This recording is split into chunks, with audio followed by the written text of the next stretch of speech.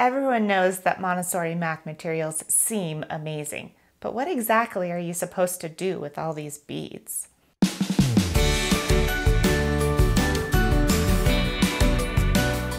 Hi everyone, welcome back to my channel. I'm Jennifer from Branch to Bloom and this video is a continuation of my Montessori golden bead demonstrations. If you're new here, go ahead and click the subscribe button below and you may want to just check out the first video in this series by clicking here and it will take you to the very introduction. By the end of this video, you're going to feel confident about teaching your children to associate the cards and beads and also to form complex numbers with them. And I'm going to show you how to do the 45 layout. Let's get started.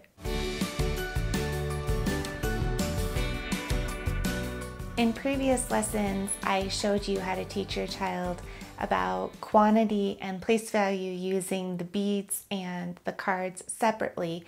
And today we're going to combine the two and look, teach them how to associate the quantity from the beads with the symbols from the cards. So you'll need a large workspace um, or you'll need to um, just have two separate areas where you're going to do these two different layouts.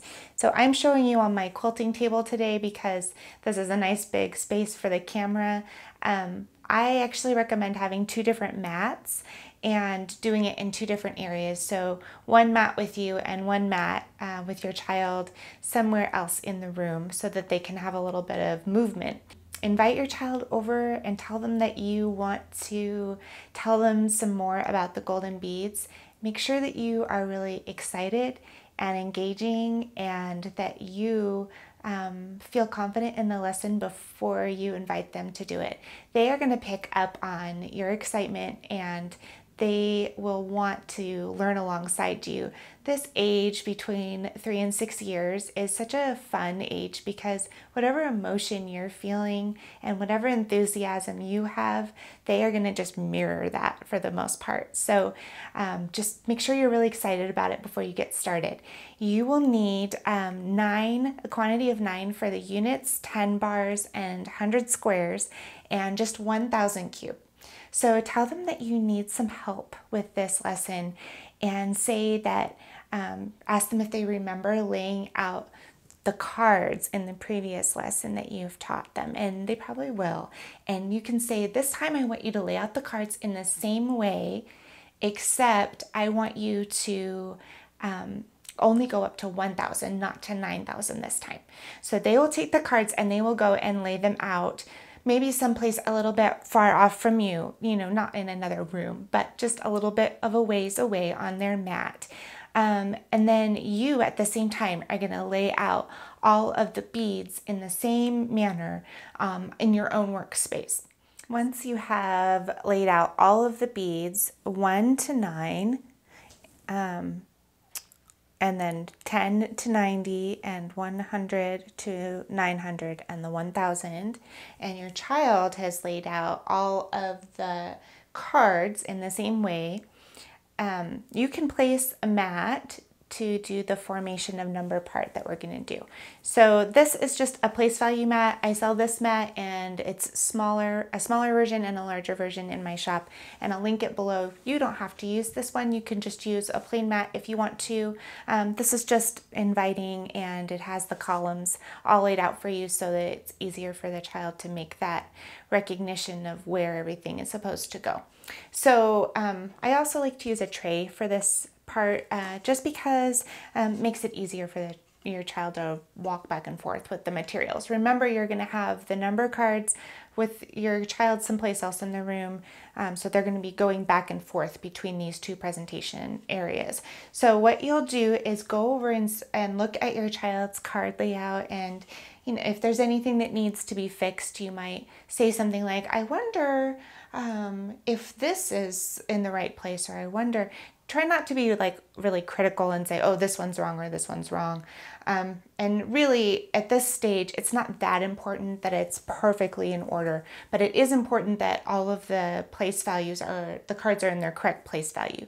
So, what you'll do is choose a card from any of the four categories. Um, and let's say I choose 20 and put it on the tray uh, for your child and then just ask them to go over and get that quantity of beads from what you have laid out over here. So they would bring it over to the beads in this section and they would take two tens because um, that's 20 and put it on the tray and bring it over to you and then you would take the card and place it on the mat and then place the um, two tens just above it and you would say 110, two tens, yes, that's 20.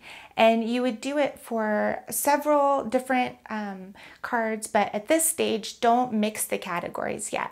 Okay, once you have done all four categories, um, and it seems like it's really easy for them and they get it, on another day, um, you will have your child lay out um, the cards and then have them watch you lay out the beads so they can see the presentation there. Um, and then you'll start asking for quantities at this stage um, from adjacent place values. So you would choose a 20 and a 2, for example, and, um, and put it on their tray. And they would take it over to the beads and take 22 um, and then you would place them this way on the mat 20 and 2 and the 2 units and have to be careful not to say and between my place values. Make sure you're not saying play and because that comes later with decimals. Uh, so you'll have the two tens, which is 20, two units, which is 2. And what number have we created? You can put them on top and it's 22.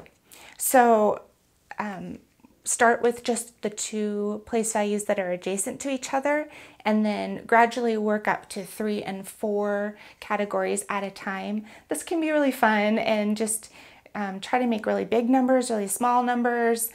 Um, make sure that there's variety in the way that you're doing it and part of the Montessori work is always remembering to have care for the environment. So when you're finished with everything, make sure your child helps you to put it all back where it belongs on the shelf.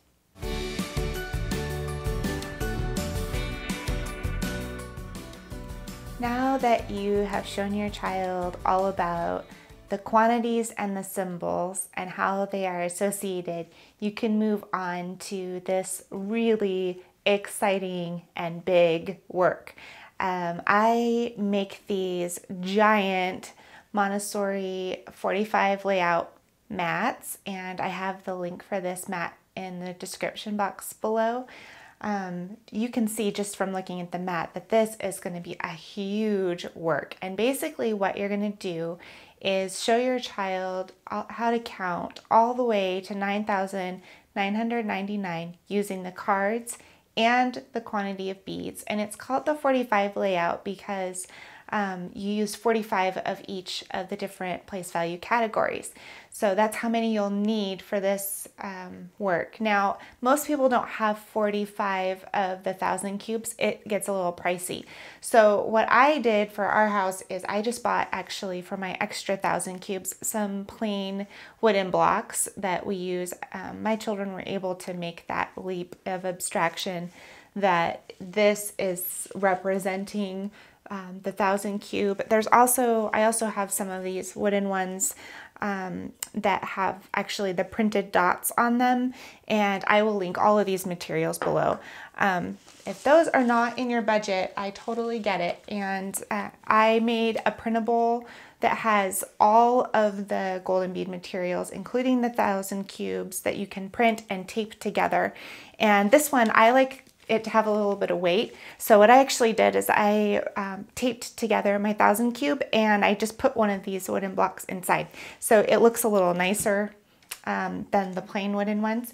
Um, but at any rate, those are some different options that you can do. Uh, you can also just use a plain mat um, or you can just use the floor and again, if you need a little help with the keeping the columns straight, which is what this mat does beautifully, uh, you could always just use some painter's tape or masking tape to lay out a space for your child to do this work on the floor. Uh, so what you'll do is call them over. You're going to need the whole quantity of all of the complete golden bead material and that includes uh, the number cards. So you'll need those as well, numbers 1 to 9,000. And you, we're just going to lay them all out on the mat, starting with the units on the right and moving all the way to the thousands on the left. Again, the reason that we have it in this particular orientation is because this is the way that we write numbers uh, in English. And so we want them to be um, laid out, the quantities to be laid out the exact same way that you would read a number from left to right. So uh, you'll start with the units and move all the way up to the thousands. As you can see, I've laid out, I've gone ahead and laid out the entire material so that you can see what it looks like when it's finished. Um, what you'll do is have the children um, lay out the number cards and the quantities next to them. What's different about this layout is that Whereas previously we just counted one, two, three, four, five, six, seven, eight, nine with ones, with units up. This time you have one next to the one, you've got two next to the two, etc. And when you're counting these, you're gonna say one unit, two units, three units, four units, etc. up to nine units. And then they'll be able to visually see that there isn't any more space um, in this column for the units and you can say when we get to nine, we move to 10 um, and you can they can visually see that there are 10 units in the 10 bar and it's going to go 10, 1, 10, 2 tens, 3 tens, 4 tens, again all the way up to 9 tens. When we get to 10 tens, what do we have? We have 100. So you'll have the 100 square. Now in the 100s, uh, when we get up to the 5, for my quantities, um, I have switched over to these wooden blocks and they have the just dots on them to represent the beads. Children usually understand that, but you may need to point it out. Um, it's only just for cost purposes because the beaded ones are more expensive. So most people switch over to the wooden ones when they do this material. Um, and again, we'll say 100, 200s, 300s, 400s, to nine hundreds, and then what do we do when we have 10 hundreds? That is 1,000, and we have the thousand cube. Um, it doesn't hurt to just show them again that there are 10 hundreds and point out the number of zeros as you're doing this. And my thousands are a little bit of a hodgepodge. I think most people who do their thousands or do this layout at home have a similar experience just because the thousand cubes are so prohibitively expensive. Uh, so I have the I have a couple of the beaded ones. This one came with my golden bead material. Um, my second beaded cube, this one actually came with my uh, long chains, the cubing chains. Um, and then I have purchased these extra wooden ones. Uh, and like I said earlier, I have the rest of mine uh, are just plain wooden blocks. And this one, again, is the printed version from the printable that I have linked below. And I like it to have weight in it. And as you can see, the way that they're stacked, you can kind of understand why I like it to be weighted. It makes it easier to stack these columns. Uh, so if you're using it for this, I do recommend putting some kind of weight in it. Uh, otherwise, my experience was that they kind of tip over and they don't they just don't stay in a nice tower when you get to the 9,000. Uh, so anyway, that's the printed one. And here we have 1,000, 2,000, 3,000. When you get to the end, your child will have counted all the way up to 9,000. And what I really like about this work is that it's so big and the children get so excited about it. A lot of times when they finish it, um, when I was working in the classroom, I would take a picture of the children with their work, and they always just had like the biggest grin because it's a lot. And because it's so much, I would encourage you to take breaks and uh, let them just um, come back to it several times throughout the day. Um, you may only get to 1,000 the first time you try it. That's okay. You know, even if they only get partway through, never try to push them into doing something that's not really exciting or not really fun to them. So make sure that you are observing and watching for fatigue because it is a fatiguing thing to count this far. And just make sure that if they do seem like they're getting tired, that you make sure and give them breaks. Um, one thing that's worked really well in my classroom and at home is to make a little name card for each kid. And it seems funny because I only have two children. It doesn't seem like I would need it. Um, but it actually having a card with their name on it that if they weren't finished with their work and they wanted it to be left out and not touched by their sibling, uh, just putting that name card gives them the ownership. It says, "I'm coming back to this, so you can't take it or don't don't take it from me." So that's just my uh, wrap up for the 45 lesson, and I hope it was helpful for you. I hope this video was helpful for you. If it was, would you go ahead and just click the thumbs up down below? That lets other people find my channel more easily on YouTube. And also, all the materials we used today are linked in the description box below for your convenience. If you have any questions or comments, be sure to leave those. I always check my comments. And thanks so much for watching today. I really appreciate it, and I'll see you next time.